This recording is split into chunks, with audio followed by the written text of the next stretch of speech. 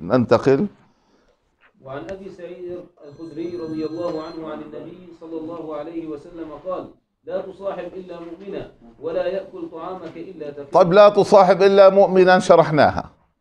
طب ولا يأكل طعامك إلا تقي. طب ما الآن سمعنا الآية الشيخ تنو قرأ معنا في الفجر ويطعمون الطعام على حبه مسكينا ويتيما وأسيرا. الأسير اللي هو الكافر ويطعمون. طب كيف الحديث؟ هان لا يأكل طعامك إلا تقي. لا يقعد معك على مائدته. لا لا يشترط القعود. في شيء أهم وهو أنك إذا أطعمت هذا التقي فسوف يطعمك حلالا. لأن التقي على الغالب سوف يأكل حلالا. طب ما أنت قلت أسيرا. أسيرا ما هو مأسور مش راح يطعميني. أنا بتفضل عليه. الفائدة الثانية أنك أنت دائما تفضل على أهل الفسق ولا تجعلهم يتفضلوا عليك. وين؟ والله رايحين نوكل عند فلان بيشتغل في البنك وك... لا يا أخي أصلا أنت مطالب الا تجالسه ولا تصاحبه. دائما أنت تفضل على مين؟ على الفسقة. عامة الناس لا تجعلهم يتفضلوا عليك. أنت طالب علم تفضل عليهم. اتضايقت كثير تاني شفت أخ من إخواننا زوجته بتعمل في مركز طبي لإحدى الجماعات الحزبية. وإحنا واقفين مرق هذا الرجل المسؤول عن المركز وهو حزبي. قال له والله يا فلان لو سمحت وبسألك إنه مرتي طلبت قرض. لو إنه بده أهل طب إحنا واقفين معك يا رجل. أشعرنا إنه هذا الرجل الحزبي سوف يتفضل على زوجته وعلى الموجودين بأن يوافق على القرض. شو هذا يا جماعة؟ لا تجعل لا تجعل لأهل الفسق ولا لأهل البدع عليك تفضلا ولا يأكل طعامك إلا تقي.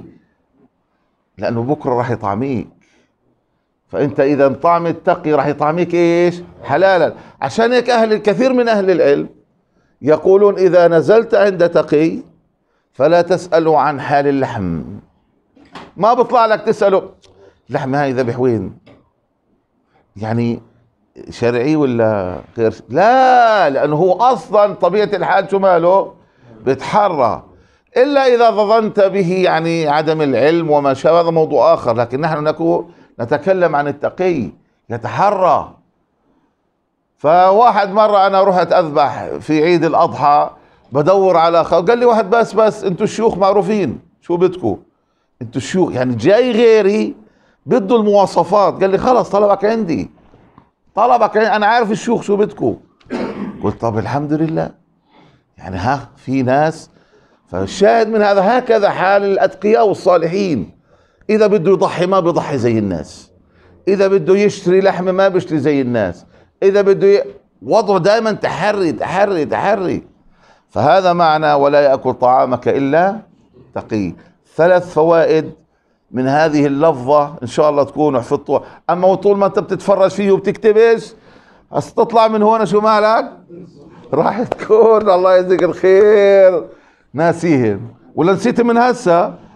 يلا توكل على الله شوف اللي بعديها وعن أبي هريرة رضي الله عنه أن النبي صلى الله عليه وسلم قال الرجل على دين خليله فلينظر أحدكم من يخالف. ها؟ طب لما على دين خليله؟ لما الرجل على دين خليله؟ يؤثر عليه في مجالسته. يؤثر يؤثر غير التأثير. لأنه يدل على الخير. لا حول ولا قوة إلا بالله. لأنك لا تنسجم معه إلا أيوه. المؤانسة. لا يمكن لأهل الديانة أن يتآنس مع أهل الفسق والفجور إلا أن يكون هو عنده فجور خفي. يعني واحد بدخن كيف أنت م- منسجم معه؟ وهو بدخن قدامك.